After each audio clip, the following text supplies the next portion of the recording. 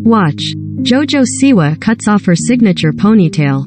The Selling Sunset trailer is proof that Season 5 is proof the Oppenheim Group is more competitive than the LA real estate market. In the preview released April 7th, Netflix reveals that Mary Fitzgerald has been promoted to a managerial position, effectively making her the boss of Chrishell.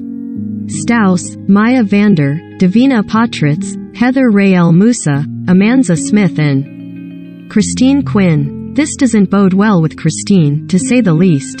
In her new role, Mary warns Christine, if you want to be a part of the brokerage, you need to stop disrespecting the other agents, to which the mom of 11-month-old Christian Georges Dumontet replies, I have never once instigated a situation. While the other women would likely disagree, there's one new agent that's on Team Christine, Chelsea Lazkani.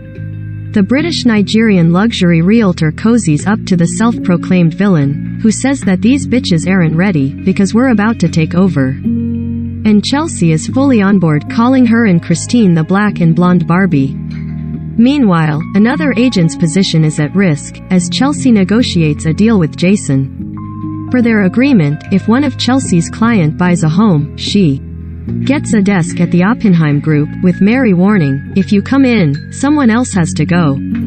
Selling Sunset fans will also get a glimpse at the cast's trip to the coasts of Greece and Italy, where Chrishell and Jason made their relationship public in July 2021. The office romance causes drama among the agents, especially Christine, who says she's getting less listings because she's not F. King the boss.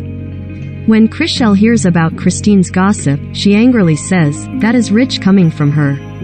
You know what, I am F. King the boss. And even Heather remains frustrated with Christine, who she purposefully leaves out of her wedding festivities.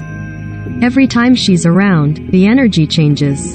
Heather says of her decision to not invite Christine to her bridal shower. All of this is to say you won't want to miss Selling Sunset when it premieres April 22nd on Netflix.